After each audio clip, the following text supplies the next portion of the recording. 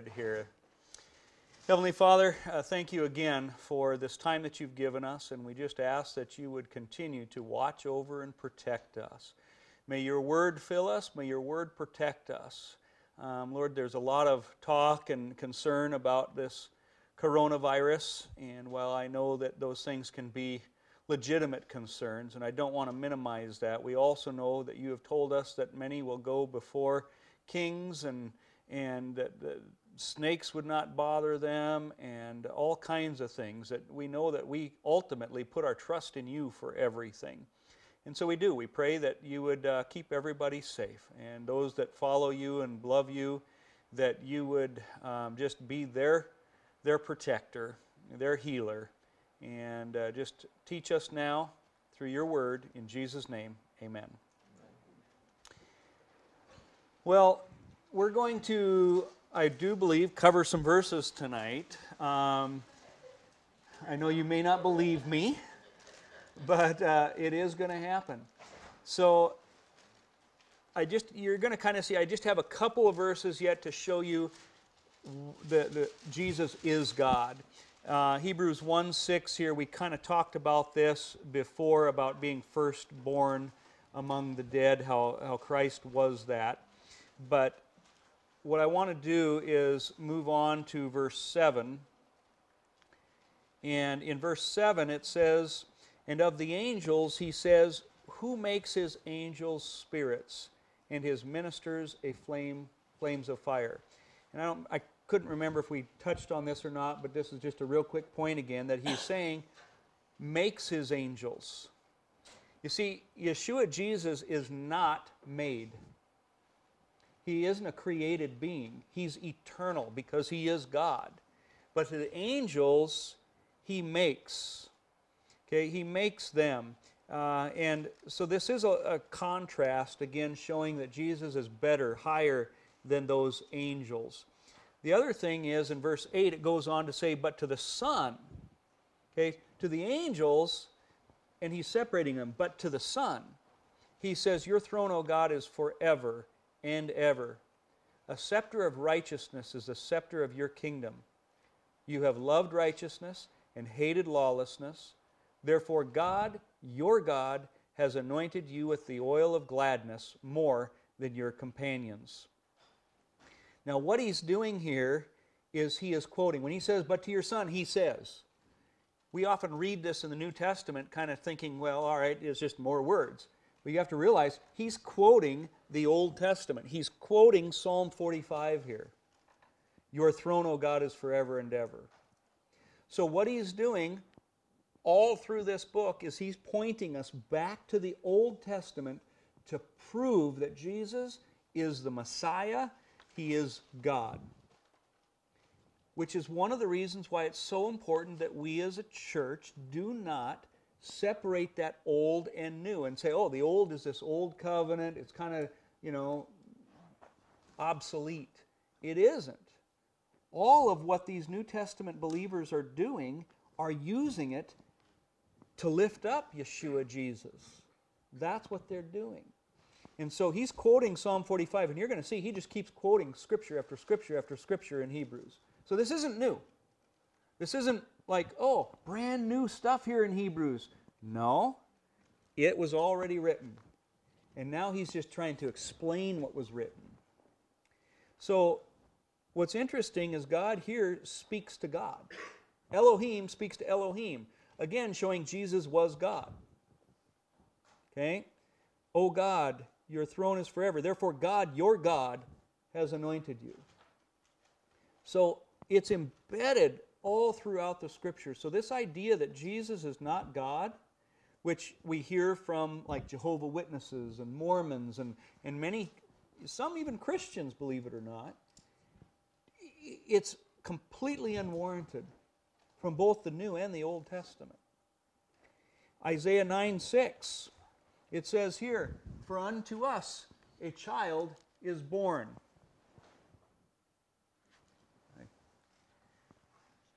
Unto us a son is given, unto the government will be upon his shoulder, and his name will be called Wonderful Counselor, Mighty God, Everlasting Father, Prince of Peace.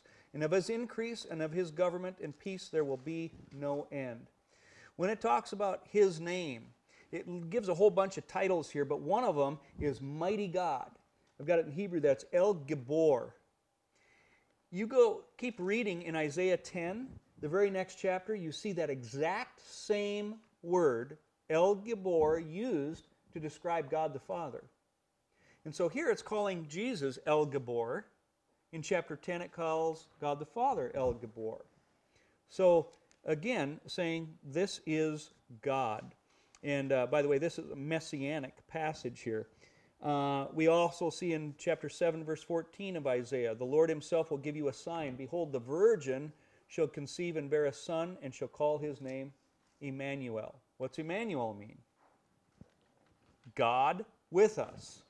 Not a servant with us, not just the Messiah with us, but God with us.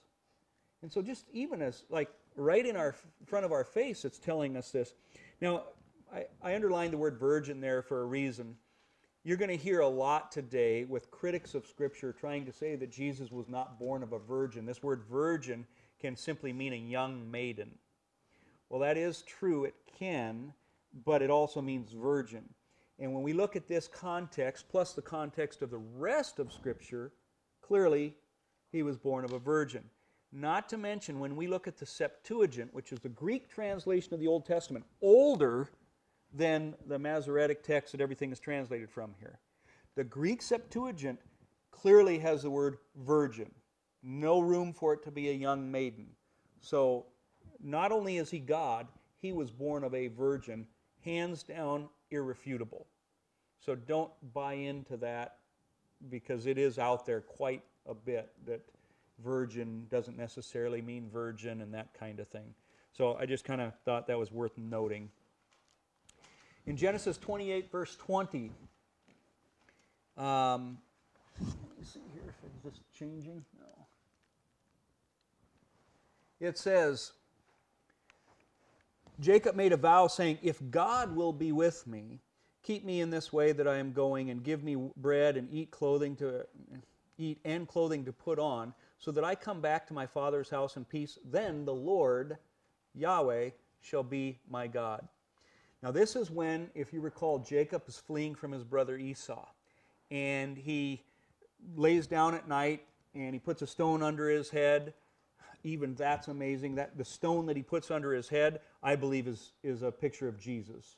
The Jews see that as well. I'm not going to get into that tonight, but um, it's called Aven uh, Hashatiah, the foundation stone. And it's not a stone, it's the stone that he places under his head. And when you look at the Hebrew and how it's worded, I can almost guarantee you that it was not just a regular stone, or it's just kind of like that rock that followed them throughout the wilderness. It was not just a rock. He, 1 Corinthians 10 says the rock that accompanied them was Christ. I think that's the same exact thing that we see here when Jacob puts that stone under his head. Maybe sometime later we'll talk about that. But for now, just kind of a little side note. But I have up here that same exact verse in the Targum. What's the Targum? Simply the Aramaic translation of the Old Testament, the Hebrew Scriptures. All right, now keep in mind, Jesus spoke Aramaic and all of that too. So Aramaic, it's not some weird thing. We're not talking like the book of Enoch here. Okay, this is the Jewish scriptures just in Aramaic. And this is how it words this. And by the way, the Targum does this all over the place. It says, And Jacob vowed a vow, saying, If the word of the Lord will be my help. So the Targum, okay, it's saying instead of God, the word. It replaces God with the Word. Now we know what the Word is. The Word became flesh and dwelt among us. The Word is Jesus. And so even here we're seeing in the Targum, and as, even in the second part, it says, The Word of the Lord shall be my God, instead of the Lord shall be my God. So even they are seeing this as a connection to Yeshua.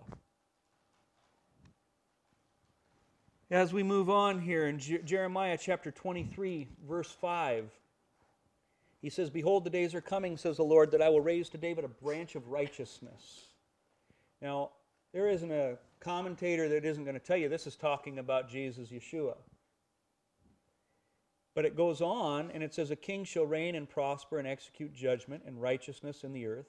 In his days, Judah will be saved and Israel will dwell safely. Now, this is his name by which he will be called, the Lord our righteousness. The word Lord there, anytime you see it in capital L, capital O, capital R, capital D, is Yahweh. Okay, that's uh, how you can tell that that's what it is in Hebrew. Okay? So the point is is the Jews knew these scripture verses and Jeremiah 23 is speaking about the Messiah and it's saying the branch of righteousness and now it's saying but Yahweh is righteousness. The branch, it's that Hebrew word semek and it's only used four times in scripture. All of them refer to Jesus Christ coming. Uh, one of them being uh, when uh, a, from the stump of Jesse, a branch will go forth. That word branch, it's the same semek that's used. And so we're connecting again Yeshua to Yahweh in this one verse. Moving on, we see here in Romans 9 5, Christ came who is overall eternally blessed God. No beating around the bush. You don't need to know Hebrew. It's telling you Jesus is God. Titus 2:13 looking for the blessed hope and the glorious appearing of our great God and Savior Jesus Christ. Again, it's right in front of our face. It's not hidden. It isn't something that uh, we need to know Hebrew and go to talk to scholars about. It is clear both in the Old and in the New. John 8:56. I really like this one here. This is kind of neat. It says, Your father Abraham rejoiced to see my day, and he saw it and was glad. Then the Jews said to him, You're not even 50 years old, and you've seen Abraham? Jesus said to them, Most assuredly, I say to you, before Abraham was, I am.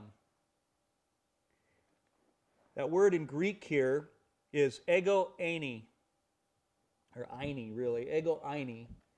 And what's fascinating about that, to me, it's always, I used to read this. What happens next? They take up stones to throw at him. They want to kill him. So Jesus says, I tell you, I am. And they're like, kill him. What? Why? Well, because they knew their scriptures. And they knew that there is only one I am. And that was Yahweh, God, Elohim, the Creator. We see that from Exodus 3, verse 13. Remember Moses, the burning bush, he wants to know, well, God, who shall I say? To, who do I tell these people that sent me? How are they going to know that it's you?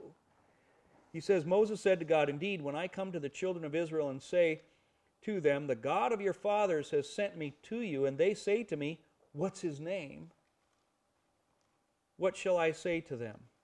God said to Moses, I am who I am. And he said, Thus you shall say to the children of Israel, I am has sent me to you. Okay? They knew this verse. And so when Jesus declares it in the New Testament, it was it wasn't some subtle thing. That was, I'm God. I'm Yahweh. And that's why they wanted to kill him. It's that simple. Now, I can get this to change here.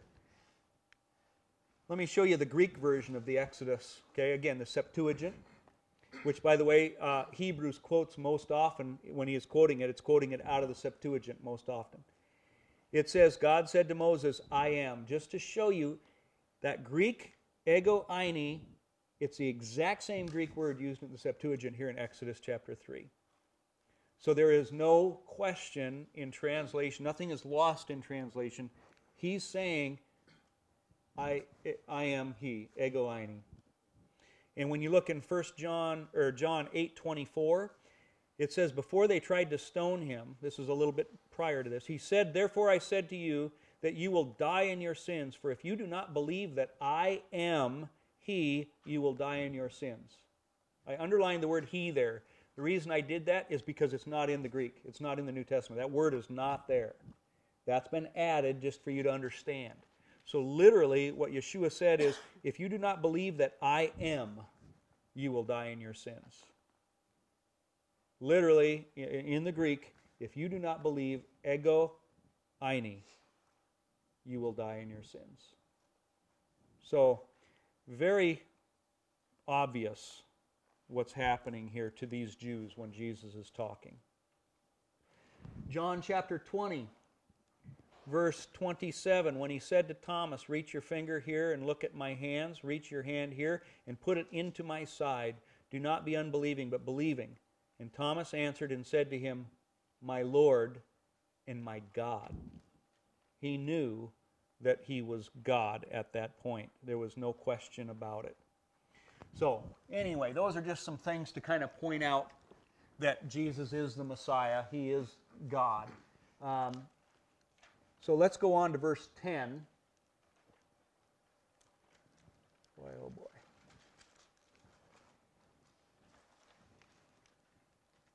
Why can't I get this dumb thing to go? I think my batteries are about dead. Give me one second here. Hey, Tara, would you get me out of my drawer two double or triple A's?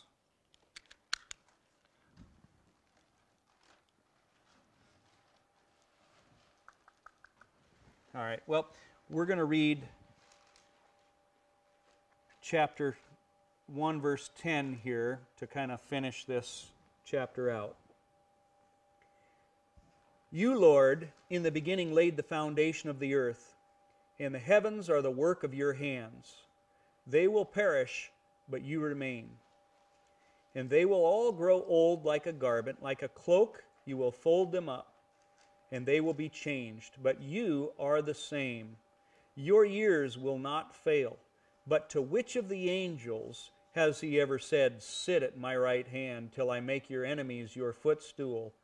Are they not all ministering spirits sent forth to minister for those who will inherit salvation? Now, there is a lot in here that I love. Brian, I saw a bunch of double A's. I don't see triple A's. Hmm. I don't know. We'll see if what we can come up with here. Um, first of all, I like the fact that it says that you are the same. Jesus Christ is the same yesterday, today, and always. Malachi, I, I the Lord, do not change. Now, isn't that kind of interesting? Because sometimes we see that there's an Old Testament God and there's a New Testament God. But he says, No, I, the Lord, do not change. I am the same yesterday, today, always. Here it says, You are the same. You are God. And so, how can we have an Old Testament God and a New Testament God? See, God doesn't change. Now, his covenant, he has a new covenant, and we'll talk about that later, what new means. But keep in mind, we're talking about the same God. That's one thing I think is kind of important here. The other thing is we kind of touched on this. By the way, he is quoting Psalm 102 here, where again he's speaking of the Messiah, and here he's trying to point out. Remember, when you read in Psalm 102, you were reading about Jesus. You were reading about the Messiah. And so in verse 13, he comes back and he says, Who of the angels did he say, sit down? He comes full circle because we talked about this back in verse 3. In verse 3, it talked about he sat down at the right hand of God. Well, we had mentioned how priests didn't sit down. Okay, they, they couldn't sit down really until the last, the 3 o'clock sacrifice. After that was all done, then they could sit down. And this is kind of showing when, when Yeshua was hanging on the cross and he says, It is finished, it's then that he is able to go and sit down because the sacrifice was complete at that time. So it's just kind of coming full circle, uh, seeing that here. Wait a minute, which, which verse is quoting Psalm Um, yeah, verse 13. 13? But to which of the angels has he ever said, Sit at my right hand till I make your enemies a footstool. that's Psalm one oh two. 102. so, we could get into some more, but what I want you to see is so far we have talked about a lot. We have seen Jesus is the Son of God, He is God, He is greater than the angels, He is the Creator, He's the one that calms the storms. Okay, He is the one that forgives sins over and over, what we were seeing is He is God. Okay? So now we jump into chapter 2. And here it says this Therefore, that one word, that's as far as I'm going to get. What's that mean? It means because of everything I have just told you, therefore, now you should listen to this. Does that make sense? So he has been building up all of chapter 1, and now he's saying, therefore, because of chapter 1, we must give the more earnest heed to the things we have heard, lest we drift away. Now, this is important. That word drift away, I'm not going to get into it, but in the Greek word, it's the only time in Scripture this word is used. And it's very important because he's saying, if you don't understand chapter 1, you are in danger of drifting away, eternal damnation. Okay? So that's kind of important. That's why we spent so much time on chapter 1. It's that important. If you don't understand that, it, you're in danger of drifting away. It goes on in verse 2 4. If the words spoken through angels proved steadfast, and every transgression and disobedience received a just reward, how shall we escape if we neglect so great a salvation, which at the first began to be spoken by the Lord and was confirmed to us by those who heard him? Now, I'm going to kind of dissect this in a few different parts. But first of all, what's the spoken, what was the word spoken through angels? What's he talking about there? Any ideas? Coming of Christ, being the Messiah. That's what, I mean, you, we kind of think that that would be that. But I'll tell you, if you were a Jew, there was no wondering. You know why? Because the Bible told us. I'm going to kind of keep drilling this in your head. When we come up with a question, we often go to just our understanding, but there should be a verse that pops up in our head to, to give us an answer. You know what I'm saying? Um, let me get, show you here. Acts 7:37 even tells us, "This is that Moses who said to the children of Israel." Now, by the way, this is when Stephen is about to be stoned, and he's giving basically a history of Israel. He says, The Lord your God will raise up for you a prophet like me from your brethren. Him you shall hear. This is he who was in the congregation in the wilderness with the angel who spoke to him on Mount Sinai. So we just saw, for if the words spoken through angels proved steadfast, what's the word? Well, Acts 7 is telling us that the word that the angel spoke at Mount Sinai, the law of God, the Ten Commandments, and, well, all of the law of God. Okay? It's not just here, but we also see in Galatians 3:19. What purpose then does the law serve? It was added because of transgression till the seed should come to whom the promise was made, and it was appointed through angels by the hand of a mediator. Okay? This is just Scripture interpreting Scripture. So when we go back and we see that in Hebrews telling us this word that came through angels, you should be thinking the law. Okay? Now, again, the Jews knew exactly what was going on here. Okay? They knew he was talking about the law. Now, what I want you to see is I've got two different colors here because this is also a structure. Remember, I told you that before there was a structure in Hebrews talking about love your neighbor, or love God and love your neighbor as yourself, and that that structure is seen throughout Scripture. Here's another structure that's going to be seen in the book of Hebrews as well, co- contrasting the Old Testament and the New Testament. He says, For if the word spoken through angels proves steadfast, in other words, if the law of God and every transgression and disobedience, every time you broke the command of God, you received a just reward. In other words, a just punishment. Okay? You broke the commands of God, you received a just punishment. God was not unjust in bringing it out. Okay? People all the time today tell me, you know, God was such an evil God in that Old Testament, he was an evil person because he killed all. No, God was not unjust in bringing destruction upon the ungodly. God can't be unjust. So, there's the contrast of the old. Now he brings in the new. How shall we escape if we neglect so great a salvation, which at first began to be spoken by the Lord and was confirmed to us by those who heard him? New Testament, New Covenant. See what he's saying? If you broke the old covenant, and there was a just punishment. How much worse if you're going to break that covenant under the gospel of grace, the covenant of grace? Can you see that? There's a clear contrast here. Um, I've got some smaller verses here. This is just a side note, somewhat. But remember, I think the first week I said Clement of Alexandria said that maybe Paul wrote this, but Luke wrote it down, or, you know, Luke wrote what Paul said. And one of this, how he says it was confirmed to us. Um, the same kind of words are used there in Luke 1 2 in Luke's writings.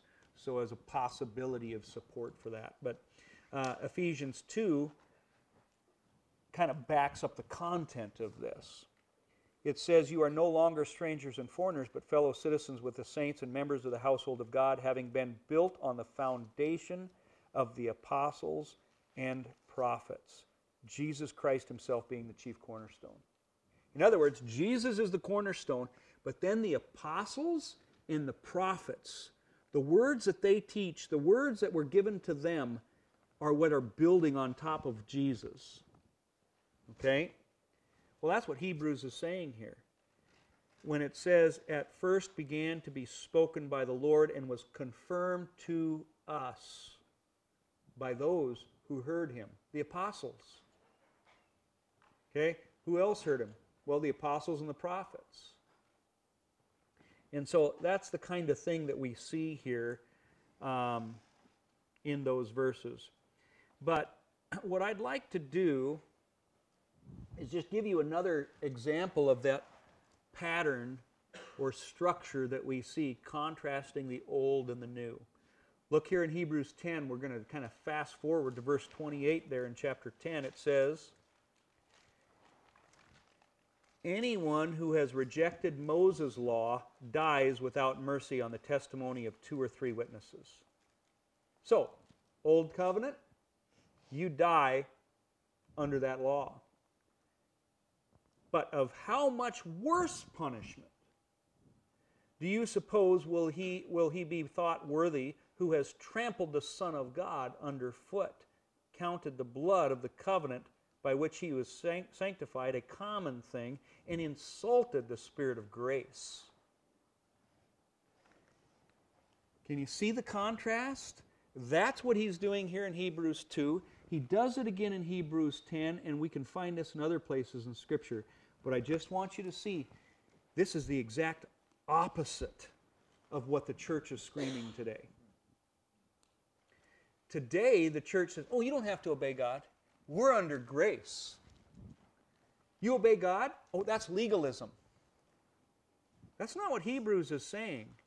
Hebrews is saying, yeah, I'll tell you what, you broke the commandments of God in the Old Testament, and you deserve death.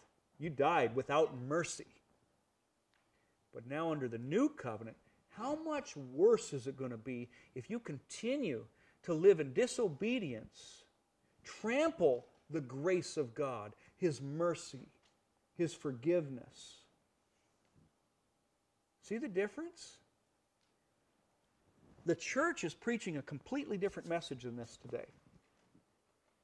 Now, maybe you want to say, hey, legalism, legalism. Take it up with God and His Word. Jesus said, if you love me, you will do what I say. Now, I'm not trying to put you under the law because you see, I'm not talking about salvation here. In the Old Testament, yeah, if you disobeyed God, you could die. I disobey God all the time, every day, whether it be in thought or deed. I am dis- I disobey God. I am forgiven. But there is a difference between willfully sinning and being, being hateful of my sin. Paul himself said, The good that I want to do, I do not do, and that which I hate, I keep on doing. Right? But he said, The evil that I hate, I keep on doing. He hates it. Go ahead.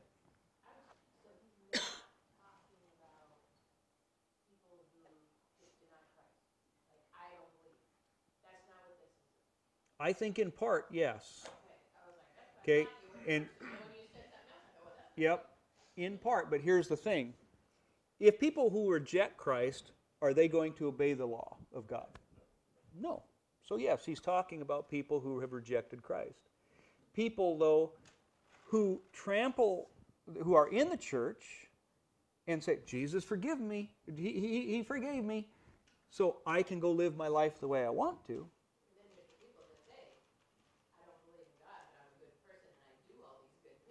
Exactly. And so that's why these things go like this.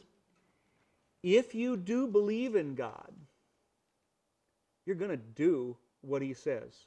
That's what Jesus said. Now, you're not going to be successful. You're not going to be perfect. But you will have a heart to do for God. That's the difference. A heart to do. I love the way our Jewish guide there in Israel, Ron, he when we asked him, you know, somebody said something about Jews believe in God. He said, "We don't believe in God. We know God." Because you see, the devil believes in God, doesn't he? He James says that the devil believes in God and shudders. So what's the difference between these people who "Well, I believe in God"? How about Matthew, uh, where he talks about many going before the Lord, saying, "Lord, Lord, we perform miracles in your name." We cast out demons. And he says, Depart from me, worker of iniquity. I know not who you are. Depart, depart from me, who? Worker of iniquity. Sinner. Okay? Somebody who's willfully sinning. Guys, I think that that's many people in the churches today are people who willfully live in sin and in disobedience because I'm under God's grace and they're trampling underfoot the sacrifice of Jesus. They're not taking it seriously. These people aren't the atheists out on the street. These are people who are casting out demons, going to church every Sunday, calling on the name of Jesus. And they're the ones that he says, You're a worker of iniquity. Now, I don't think he's saying, Oh, you broke one of my commandments because then we'd all be in that boat. What he's saying is, you willfully broke my commandments. You treated as something common, something that is amazing, the spirit of grace. Grace and mercy. And you treated it as if it was no big deal. You took advantage of it. Okay? I think we can see that in children sometime. I know in our own home, I mean, we can do all of these things, and, and sometimes they'll start to take advantage and use, manipulate, right? Would that, sorry, would that be like taking the Lord's name in vain, do you think, in one context? Or do you think that's more of just like using it as a curse word? I guess I've always I thought of that as we're using God's name in vain. Is that kind of like that? I think, in a sense, using God's name in vain is like that because of the fact that God says in one of the commandments, do not take the name of the Lord thy God in vain. And so if we're if we don't care and we're saying, "Oh my God," and we're not talking to God, that's using it in a vain way. And so that's breaking a commandment. Now, again, I'm not going to nitpick about this sin, this sin, because all of them are going to fall under this the heart. If you know that you shouldn't be saying, oh my God, when you're not talking to God, then I'd say, yeah, there's a problem in your heart. There are people who do it out there and they're ignorant. They don't even realize that they're breaking a command of God. They don't realize that that's taking God's name in vain. So their heart isn't wrong, they're just ignorant. I'm sure there's a lot that I'm doing in my life that I'm ignorant of and just don't know any better. But you see, God knows my heart.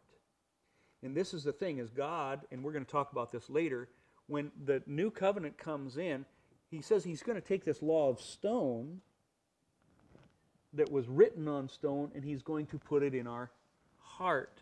So we have a desire to obey God. And so that's why I don't really look at people's sins and say, "Oh, you're going to hell because, you know, you watched this bad movie the other day." Okay? Maybe the word of God needs to convict them and they, you know, but they're just living in in ignorance and not taking it seriously and another thing we'll be coming up to basically. That that's kind of what can happen. But nonetheless, what we do see saying in Hebrews is this guys, this is kind of serious. This should, to some extent, put a little fear of God in us. And we've lost the fear of God in our society. He's just our buddy. He forgives us because I know Jesus. I prayed to Him once, I asked Him into my heart. Now I go live my life for me. That's just not right. This is going to kind of answer your question, Mark. Let's go to verse uh, 3 here, where it says, How shall we escape if we neglect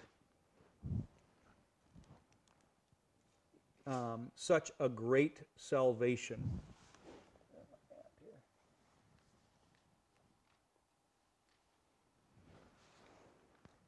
How shall we escape if we neglect? I want to focus on that word neglect such a great salvation. I think that's the problem right here. You know, Ray Comfort talks about this a lot when, as an illustration of what Christ has done for us, you get caught doing some terrible thing, you get arrested, you go before the court, the judge, he says you're going to go to prison for 20 years and you have a million dollar fine. And if you can pay the million dollar fine, you, you won't go to prison. But you're thinking, I don't have a million dollars. And then somebody busts into the courtroom and says, I just went and sold my house, my car, everything I own. Here's a million dollars I want to pay for Caleb's fine. Okay? What are you going to think of that person? He's your new best friend. You're going to, what can I do for you? Thank you, thank you, thank you. What can I do? Can, can, I go mow your lawn? Well, I just sold my house. I don't have a house anymore. You know, there's nothing you can do. Nothing. But you're going to have an attitude of gratitude for that person. I think that the gospel has become so mundane that we don't have an attitude of gratitude to want to serve God anymore. It's just like, Thanks for doing that for me, God. Now let me go live my life for me. That would be the same as Caleb said, Hey, thanks, dude. Appreciate that. And going off and not caring about anything that that guy just did. And that's why that it's very important that we do not neglect this salvation. And as I was pondering, how are we neglecting such a great salvation? Boy, I'll tell you, I had a long list of things. How many of us are reading our Bibles every day? My brother Wes, he has made a commitment this year to read the Bible all the way through every month. Every month. He's already on his third one going through. And he said it's amazing to see because, you know, it's taken me a year or sometimes two years to get through. And I get in this piece, but it makes no connection to this piece back here because that was six months ago. And so I said, Well, how long does it take? He's reading like two and a half to three hours a day. He says, I get up early, I'll try and read an hour and a half in the morning and at night. Now, we might say, There's no way we'd have any time.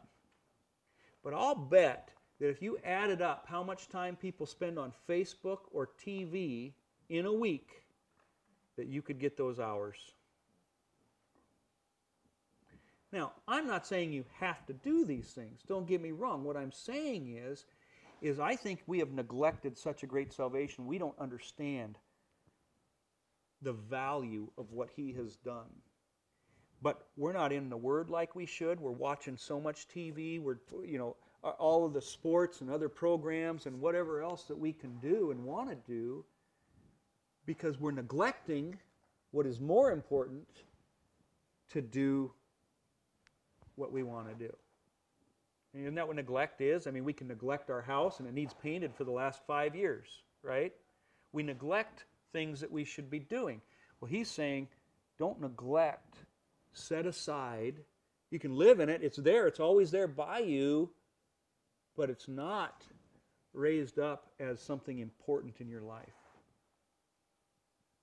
And I, I just think if we truly believe this, when he's saying, hey, when you broke the commandments in the Old Testament, there was a severe punishment. How much more if you're going to treat this holy, amazing grace and mercy as something common, as something unholy? How much more do we deserve God's wrath?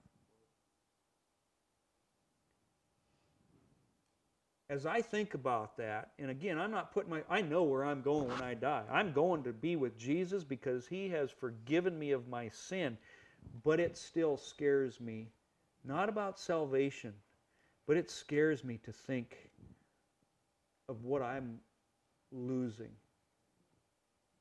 how I'm missing out, and how I'm living my life for me at times rather than focusing on God. I don't know, I maybe told you this, I don't know, but just shortly before going to Montana, I told my wife, I said, man, I have been on cloud nine. I have been studying and studying and studying. I mean, every chance I get, in the middle of the night, I wake up, I can't sleep, I'm praying or listening to a sermon. I mean, every free moment, I'm out cutting wood, I'm listening to a sermon. I am just engulfed in His Word. And I have been on cloud nine for the past couple, two, three months. And I told Tara, I do not want to lose this. I don't want to lose it because this is awesome. This is joy. And this is what Christianity is. So when I don't, when I neglect such a great salvation, I'm only hurting myself. You know, I'm the one that's losing out like, I don't want to lose this. I'm loving this. So I, I think to me, anyway, this is kind of an important verse just for that purpose alone. Let me show you what James says here in chapter 4, verse 4. Adulterers and adulteresses, do you not know that friendship with the world is enmity with God? Whoever therefore wants to be a friend of the world makes himself an enemy of God. Okay? So we're not to make friends with the world and neglect the gift of salvation. One of the things that uh, this kind of comes to mind is in Romans. In Romans, it says, You are a slave to whomever you obey. Now, guys, there's only, you know, in the world, we kind of think there's black and white and gray. Not, God does not have gray.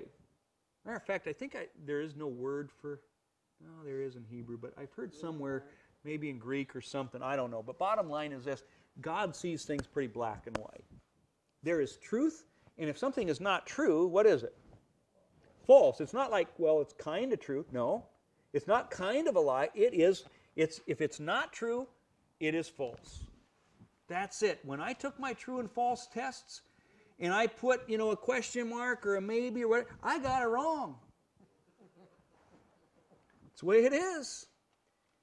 And so something is either true or it's not. So if we are not serving God, what are we doing? Yeah. The devil, you know what the devil wants? Worship. Okay, that's what he's always wanted from the beginning. And how does he receive worship? It isn't because we go to some satanic church and start singing, you know, the atheist song that uh, Tim Hawkins sang, you know. It, it, that's not how we worship. How do we worship the devil? Exactly. By disobeying God. That's the worship of the devil. What I want you guys to understand is how do we worship God?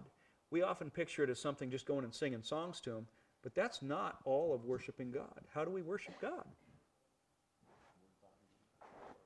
Yeah, we live our life for Him, we obey Him. That's worship. Now, I don't always live, I'm not always worshiping God. Sometimes I do worship the devil. I know that sounds terrible, but when I walk in disobedience, and I might have lustful eyes, or greed, or covetousness, the devil is getting that worship from me in that part of my life. Okay? Now, I, he doesn't. I don't belong to him, but he's. I'm giving him some. I belong to Jesus. But do you see what I'm saying here? And I think that's kind of what James is saying: is that you can't be friends with the world and at the same time be a friend of God. You have to be one or the other because you are a slave to the one whom you obey, Romans says. You're going to walk in disobedience? Then you're going to be a slave to the one whom you obey, a slave to the devil. Or you walk in obedience and you become a slave to Jesus. Now, again, I'm not talking about salvation here. I've told you, and I can't make this. I, I'm gonna. I'm gonna. You're gonna get tired of me saying this, okay? But I have to because of the culture we've grown up in. I'm not talking about legalism. I'm not talking about salvation. I know where I am going, but there are times I worship the devil because I disobey God. I'm forgiven. Okay? I am forgiven. That's why I'm getting to heaven. But that's not what I want. I want to worship God. And I think the reason I want that is because He has put His Spirit into my heart. He has put His commandments in my heart. He has put His Word there. And so I have a desire to do. I think that's what Paul said. I have a desire to do what is good, but I cannot carry it out. For the good that I want to do is not the good that I do. No, the evil I do not want to do. This I keep on doing. And if I do what I do not want to do, it is no longer I who do it, but it is sin living in me. Okay? And so I think that's what Paul is saying. Paul wasn't saying, oh, I can go live the way I want because I'm under grace. No, he says, I don't want to do that. I want to be different. I want to worship and serve God. I'm going to fail. That's why he ends it by saying, Oh, what a wretched man I am. Who can rescue me from this body of death? Thanks be to God through Christ Jesus my Lord. So, like I said, you're going to get tired of me saying, you know, but but to combat what the church has been saying for so many years and in so many ways of we're under grace, we have to talk about this. But we talk about obedience today, and it just seems like it's naturally um, something that is, is called legalism. Hebrews 2 4. Let's move on to the next verse. God also bearing witness both with signs and wonders, with various miracles and gifts of the Holy Spirit, according to his own will. Okay, remember I it was built upon the foundation of the apostles and the prophets. Okay? We just saw in Hebrews talking about confirmed, you know, through us basically. Here he's saying same thing, bearing witness the apostles, the prophets bore witness about the truth of these scriptures with miracles, signs, and wonders. Part of that being the Holy Spirit. Okay, they were given that power. So it's basically saying, hey, yeah, this can be trusted. And there are many examples where we can see this. You know, Pentecost, we see them healing people, uh, you know, snakes biting them and, and, and just shaking them off into the into the fire as Paul did there on the island of Malta. So, uh, many examples of this, but it says that these are to bear witness to the truth of these scriptures. Okay? Do you know why the NIV would have added the word distributed Where at? before according to his own will? Distributed according to his own will. I mean, that's, that's kind of a, I mean, like, why would they put that word in there? I don't know, and I don't know how it's worded there in the Greek, but to me, I can see that God has given us. Uh, these are things that God has given, so God has distributed those things. I don't, I- I'm just curious My. Yeah. in the original. my ESV study Bible, it has distributed also, and um, if I'm reading this right, the, the notes down here, the Greek would be like merismos, distributions. Yeah. And so, yeah, uh, to me, it makes sense. Just God distributes these gifts. It's just, I would say, with the context of the whole New Testament, um, you know, if a man's gift is prophesying, let him prophesy. But each man should do according to the measure given you, the measure of faith given you. And so when Romans talks about that, I would say it just it fits right in there that these are all gifts, the miracles, the signs, the wonders are things that are given to us by God. They're not ours, they're not our power. Uh, New King James. But I think you can even see it fitting in there probably. But yeah, this is New King James that I had up on the screen. Um, Acts 4:33 says, "With great power the apostles gave witness to the resurrection of the Lord Jesus." So just another example of that. That that's what we're seeing happening here. Verse 5. For he has not put the world to come of which he spoke, or of which we speak, in subjection to angels. But one testified in a certain place, saying, What is man that you are mindful of him, or the Son of Man that you should take care of him? He's talking about David here. He's quoting Psalm 8. And we recall David was looking up at the stars and, and just like, wow, who is man? Who am I that you are mindful of me? You know?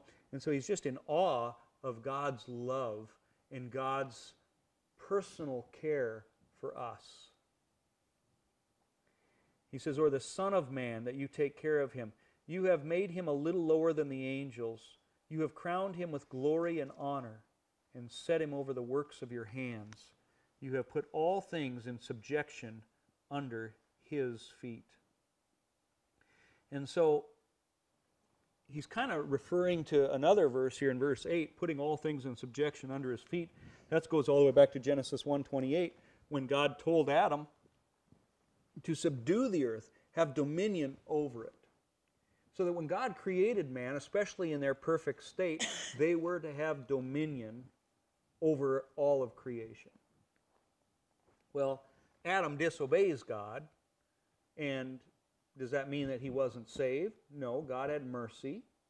And what happened? So he lost that authority, and it was given to the devil. Now, Jesus came to take it back.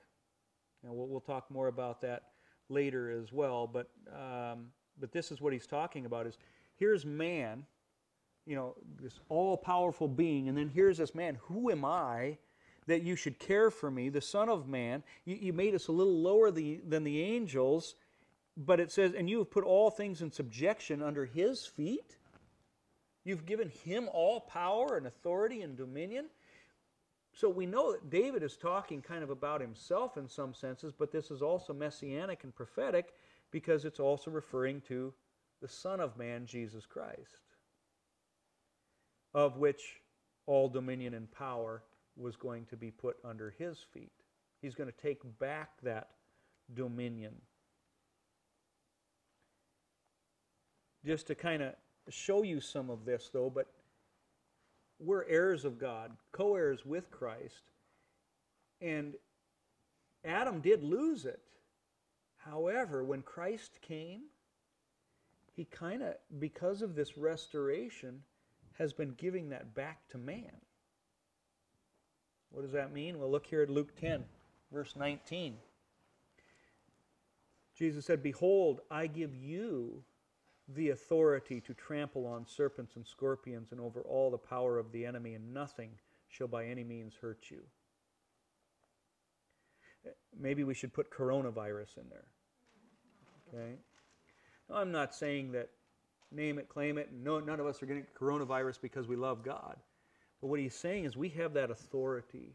We have God. And we need to put our faith in him. 1 Corinthians 6 2 Do you not know that the saints will judge the world? And if the world will be judged by you, are you unworthy to judge the smallest matters? Do you not know that we shall judge angels? Wow, who am I? Who am I that I should judge angels? That's kind of powerful. You know, there's a verse that always bugs me a little bit. In Paul, he says this. He says, you know, you do not have many fathers in Christ Jesus. You have many guardians, but not many fathers. And the difference is, you know, a father is more strict and will tell you yes and no. He says, You do not have many fathers. But he goes on and he says, Therefore I became your father through the gospel in Jesus Christ. But he goes on and says, Therefore imitate me. It's like, man, could any of you guys be so bold to say, I know Jesus enough, I follow God enough that I could say, imitate me, do what I do? You guys wouldn't be coming to my Bible study if I said that. But Paul said that. Why? Because he had the authority of the Word of God. Okay? And yet, remember, he is also the one that said, All these things that I hate, I keep on doing. So it doesn't mean that you have to be perfect, but it does mean this. At least this is the way I see it. You better at least know the Scripture so you can tell people what to do. Okay? I give people advice all the time that I have a hard time doing myself, but I know it's right. I know it's the truth. And it's what I want to do. And in some cases, it's like, man, I'm really glad I'm not in your shoes, but this is what you should do. This is what I would try and do. And only by the grace of God would I be able to do it, but through Christ I can do all things. And I think that's what he means by imitate him. Is I know what truth is. I have the word. I have that authority. Here it is. Just do it. Okay? If you fail doing it, get back up. Get back on that horse and say, Thank you, Jesus, that you have forgiven me. But anyway, we're going to judge angels someday. How about Hebrews 2 8 here again when it says, But now we do not yet see all things put under him. It continues there. In other words, it's not done, it's not complete. What do we not yet see put under him? I see kind of two main things sin and death. Did Jesus conquer sin? Yes, but is sin still in the world? Yes. Did Jesus conquer death? Yes, but is death still in the world? Yes. But when he comes back, those things are no more. In Revelation, we see there is no more tear, no more fear, no more sin, no more death, no more anything bad. And that's why 1 Corinthians 15 25 says here, says, He must reign till he has put all enemies under his feet. The last enemy that will be destroyed is death, for he has put all things under his feet. Again, quoting Psalm 8. Okay? And so that's why right now we're going to do what we don't want to do. Sin is still in this world, but I stand forgiven. But because of that great knowledge, I have every desire to want to know my Lord, my Savior, and know what pleases Him. Because how can I obey Him if I don't know what pleases Him? How are we going to know what pleases Him? There's only one way. It's not going to be from your heart and what your heart tells you. It's not even going to be probably what your church tells you. It's going to be what the Word tells you. That's how we please God. Okay? And by the way, Romans does kind of talk about that as well. About this is your, uh, how is that word? This is your good and perfect, pleasing will. I can't pull it up in my head right now. But it says, offer your bodies as living sacrifices to God, for this is your spiritual act of worship. Now, does that mean we're supposed to go build a cross and hang ourselves up on the cross? No. Offer your bodies holy and pleasing to God as this, this spiritual act of worship, a living sacrifice. Offer your bodies as living sacrifices, holy and pleasing to God. Well, how are we going to offer our bodies to God as living sacrifices, holy and pleasing? Well, we have to know what holiness is, first of all. Okay? It's kind of a truth false thing. If it's not holy, what is it? Unholy. Pretty black and white, pretty common sense here. Okay? So, it's very important for us to know God's Word and what is holy and what is not holy. Okay? We'll, we'll maybe talk more about that later. But again, he says this is your spiritual act of worship in Romans. He doesn't say this is your means of salvation. This is your way of worshiping God by obeying Him, loving Him. Okay? So, um, Hebrews 2 9. But we see Jesus, who was made a little lower than the angels for the suffering of death, crowned with glory and honor, that he, by the grace of God, might taste death for everyone.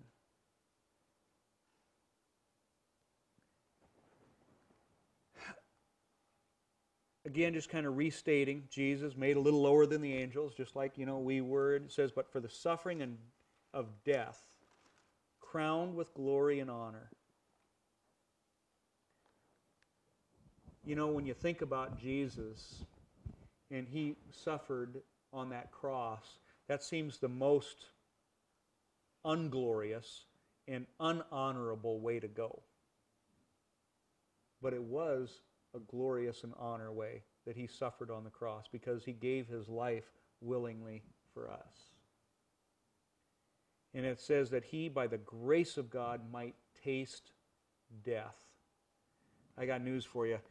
Any Jew reading this right now, where do you think their mind went? Tasting death. Maybe the Garden of Eden? Yeah. Now, I think I did a message on this at Lifehouse. If not, it's on a podcast for sure on the Garden of Eden. And I had talked about how Adam, I do not believe, fell into sin like accidentally, like, oh, thanks, Eve. oh. And the devil's like, yeah, I got a two for one. No.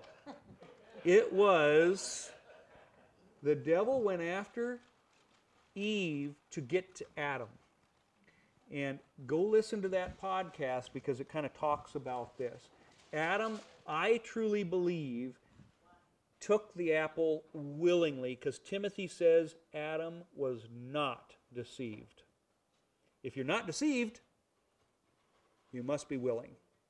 And I can back this up with many more scriptures on that podcast or the YouTube. Like I said, I'm not going to get into it. You go look at it. If, you, if you're thinking, ah, go watch it.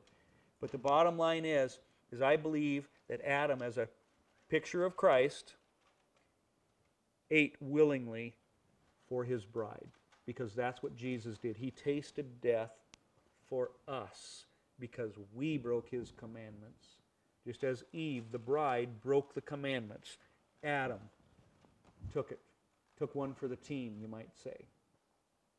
Okay, which is why Romans says, Nevertheless, death reigned from the time of Adam to the time of Moses, even over those who did not break a command, as did Adam, who was a pattern of the one to come. All right? So, he's really starting to unravel. All right, therefore, since we've seen that Jesus is the Son of God, He is God, He's the Messiah. Remember the Old Testament, you got this law. Well, now, now that there's something even greater than that Old Testament, that Old covenant, that old law written on stone, now that there's something greater, and He has shown you His mercy, He has shown you His love in a way that nobody else could, that He sent His only begotten Son to die for you. Let's not treat this as unholy and trample on it. This is what he's talking. I mean, that sums up what we've read here so far in Hebrews. He goes on here in verse 10. He says, For it was fitting for him, for whom are for whom are all things, and by whom are all things, again going back to that creator, in bringing many sons to glory. Hey, that's us. To make the captain of their salvation perfect through sufferings the captain of their salvation. Literally, the word there is the originator of salvation. Salvation had its origin in Yeshua. The very word Yeshua, the Lord saves. Okay? I love this, though. How did he do it? He made things perfect through suffering. How do you think we make things perfect? Look at 1 Peter chapter 4 verse 1 there. Therefore, since Christ suffered for us in the flesh, arm yourselves also with the same attitude or the same mind, for he who has suffered in the flesh has ceased from sin or is done with sin, NIV says. I love that verse. He who has suffered in his flesh is done with sin. Guys, I'll tell you what, if we didn't live for the flesh, how many sins would we have? See what I mean about he who suffers in the flesh?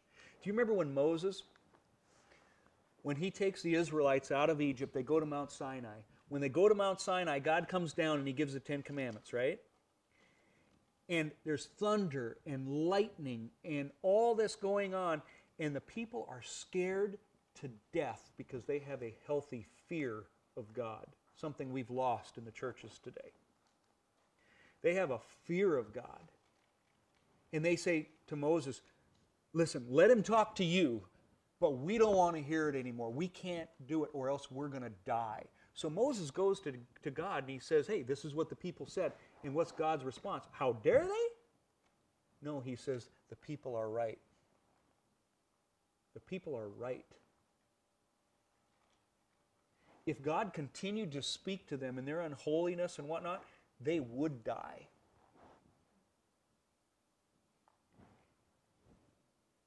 You see, guys, the Word of God, it's so powerful. It should be so powerful to us. You know what it's supposed to do to the flesh?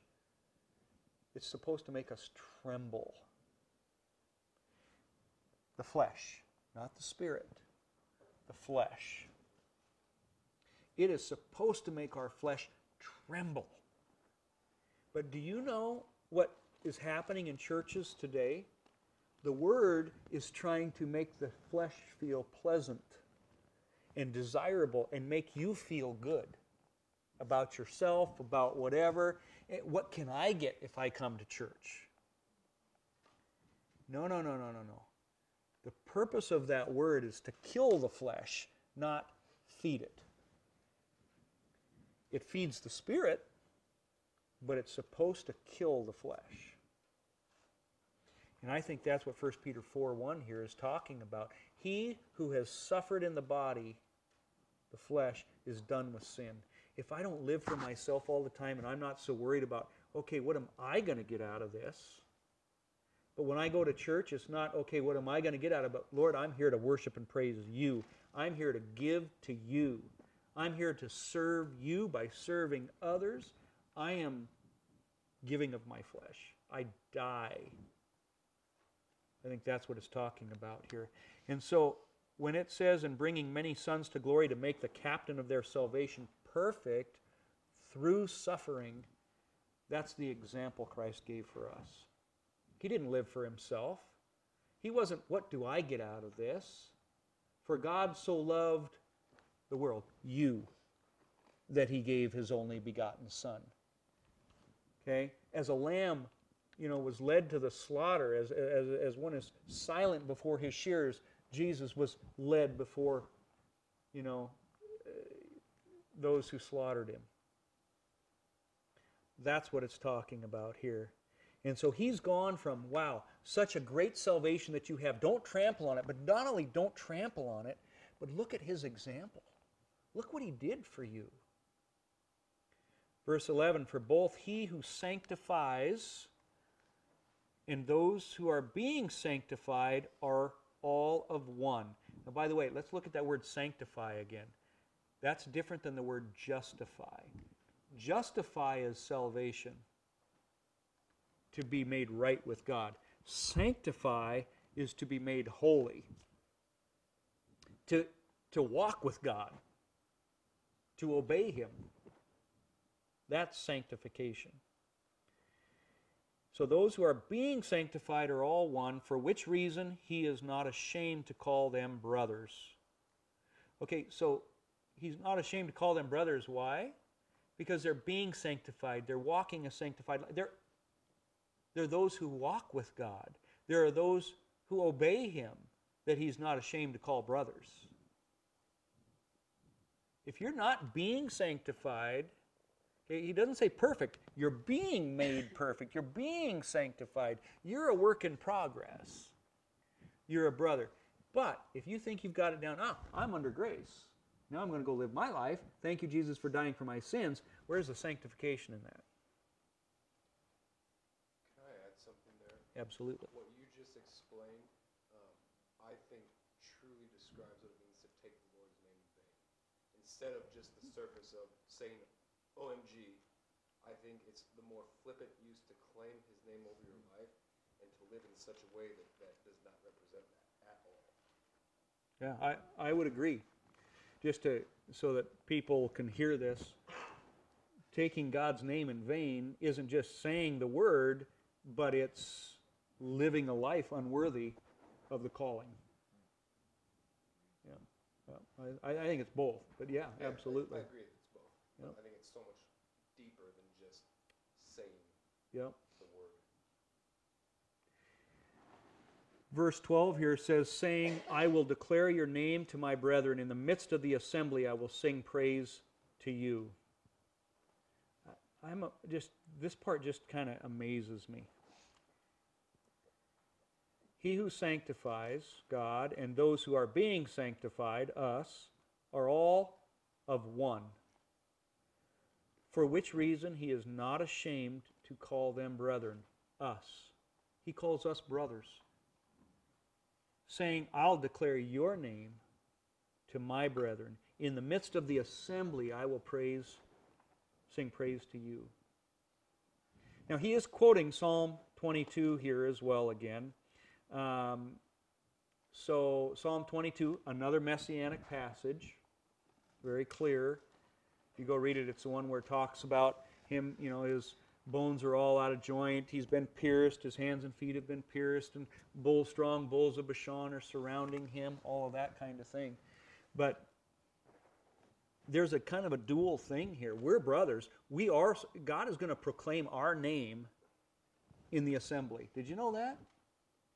In Revelation, I think it's chapter 3, verse 5, he says he will proclaim our name before his Father in heaven. By the way, that's what if you recall that, that same message about the Garden of Eden, that's what Adam does as a picture of Christ. The very first recorded words in Genesis there that Adam ever says. Okay, he maybe said other things that's not recorded, but what's recorded is you are called woman. Okay? In other words, God brought Eve to Adam, just as God, the Father, brings us to Jesus. No one comes to Jesus unless the Father draws him. He brings the bride to Christ. And then what happens? He proclaims her name, the bride's name, before his Father. That's, I see a picture of that right here. Okay? I think that's the, the assembly of believers, basically. In the midst of the assembly, all the, the saints, the, the, the apostles, probably even the angels. In, in heaven, right? Yes. Yep. The heaven, like the heavenly assembly, Not, not. not the Assembly of God Church, you know. Yeah. But again, keep in mind. not On earth, I mean, it isn't the church, the invisible church, it's the, the church in heaven, I mean, Right. the believers, okay. Yes. Now, keep in mind, though, this is also coming from Psalm 22, and it's talking about Jesus, too. And God does this to, for, for Jesus. Okay? He is giving glory to, to Jesus for, for all of that as well. So there's a dual thing here. So don't just put this as us. This is also clearly speaking of the Messiah. So, um, verse 13. And again, I will put my trust in him. And again, here am I and the children whom God has given me. Now, he's quoting Isaiah 8. Okay? And it's talking about Emmanuel there, and basically a warning in some senses as you read the chapter not to neglect or reject him. So, again, these are verses that they would have known, their minds would have gone to, to that portion of Scripture in Isaiah and they would have realized they were reading about themselves. He's warning them because you've seen this is the Messiah, because he has died, don't neglect this, because if you do, there is judgment. That's how serious this is. And so you can go read Isaiah 8. Here's a little portion of it in verse 14. Again, speaking of the Messiah, he will be as a sanctuary, but a stone of stumbling and a rock of offense to both the houses of Israel as a trap and a snare to the inhabitants of Jerusalem. And many among them shall stumble. Goes on here, just to skip a little to verse 16. Bind up the testimony, seal the law among my disciples, and I will hope in him. I love this. Okay, clearly again, Isaiah 8, go read it all. But you're seeing it's talking about Jesus being a, the stumbling stone. Okay, we see that quoted in, in the New Testament as well in other places. But he goes on and he says, Many among them shall stumble. Just like he's been preaching to these Hebrews, he says, Don't stumble. Don't fall apart. Don't drift away. Don't neglect this gift. Don't stumble over the stumbling stone. Okay? That's what he's saying. And he says, Bind up the testimony. What's the testimony? The law of God. Seal the law among my disciples. Again, this is talking about Jesus. Now, wait a minute. Jesus got rid of the law. No, as a matter of fact, it's saying you're supposed to seal the law among the disciples. And then in verse 17, and I will hope in him. Now, that word seal in the Greek Septuagint, okay, the, the Greek translation of the Old Testament, is the exact same Greek word used here in Ephesians 1:13 when it says, In him, in Jesus, you also trusted after you heard the word of truth, the gospel of your salvation, in whom also, having believed, you were sealed, not with the law, but sealed with the Holy Spirit of promise. In other words, what you're going to see, in Hebrews is going to continue to unfold this, is God never got rid of the law. The law is not gone, He just sealed it in your hearts.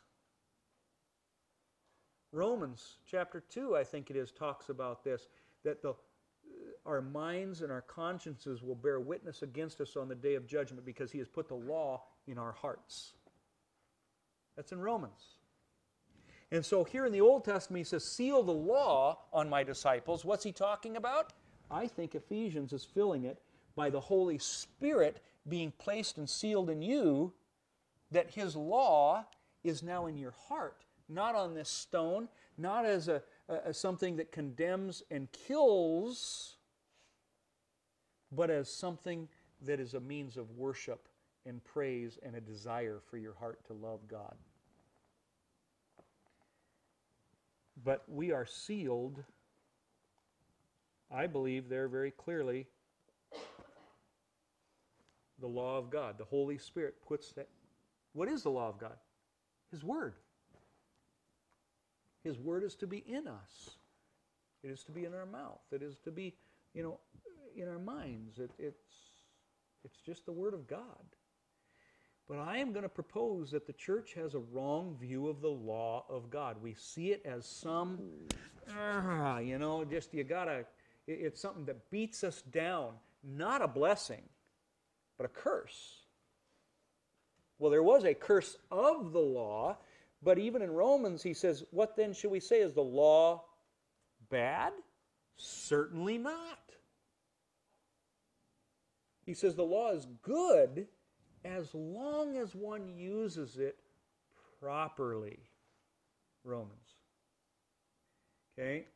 And that's what Hebrews is going to show you is that law can be legalism. And that's when it's used improperly. When it is condemning you, now it may need to condemn you a little bit because maybe if we're not believers in Christ, if we're not there, that law is to convict you, to be a tutor, to show us, you know, truth. But Romans says that the condemnation of the law has been taken away. Not the law itself, but the condemnation of the law. And again, this will become this will be unfolded just right here in the book of Hebrews. Let's uh, close out here with verse 14. Inasmuch then as the children have partaken of flesh and blood, he himself likewise shared in the same, that through death he might destroy him who had the power of death, that is, the devil, and release those who through fear of death were all their lifetime subject to bondage. So we see, first of all, only he can defeat the devil, not you. Even the archangel Michael, it says in Jude, did not dare to bring a slanderous accusation against the devil. You know, I see people kind of mocking the devil and making fun of him. Don't do that. Okay? You call upon Christ. You call upon Him and His Word to go after the devil. You don't. Okay? Christ only can do that.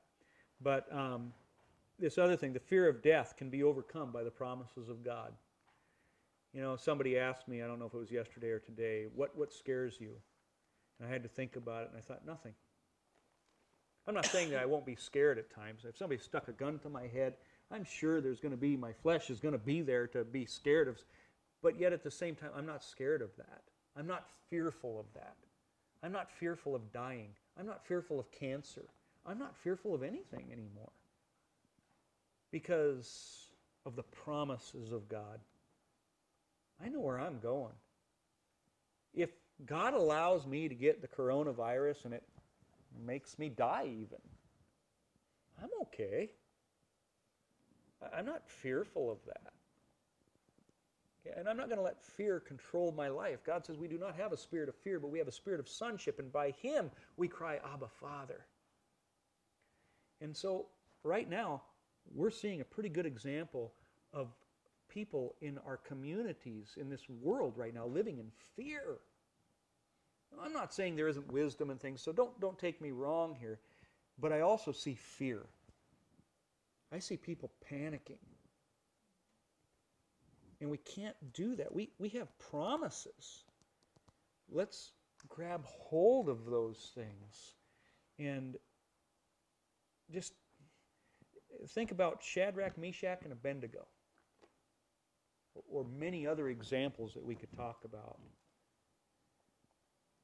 I think because we are so fearful that many of us would bow down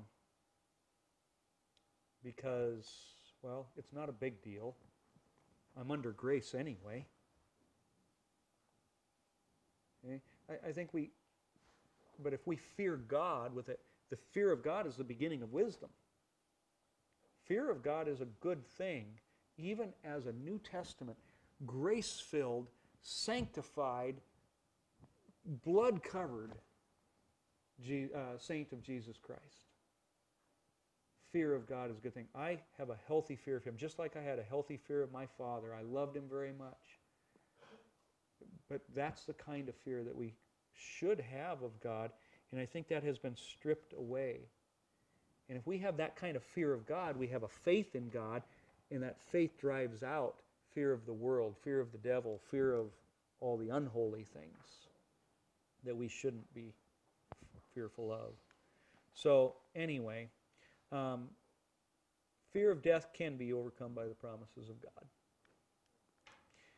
Any thoughts anybody has here? When you were talking about, you know, like that people kind of mock Satan and stuff like, and they think it's, you know, funny. I think of like, I think of there's, there's a verse in Jude where it says, um, even the archangel Michael, when he was arguing with Satan over the body of Moses, even he said, I'm not gonna rebuke you, I'm not even gonna, really, basically saying the Lord's gonna, if God rebuke you, I'm not even gonna rebuke you. And, I mean, I kinda guess what I'm saying is it sort of backs up what you were saying about not mocking, um, where is that? I Yeah. it's in. Jude. I did kind of quote it. I said it here before, yeah. But it's good to hear it again. But verse, uh, nine, but even the archangel angel Michael, when he was disputing with the devil about the body of Moses, did not dare to bring a slanderous accusation against him, but said, the Lord rebuke you. It just kind of makes me, I mean, it just kind of backs up what you were saying, just in a different Yeah. verse. Yep. Anyway, anything else?